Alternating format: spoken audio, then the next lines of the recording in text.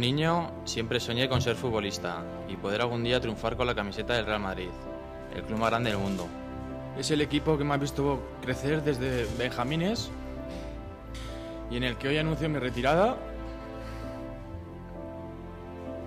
de los terrenos de juego.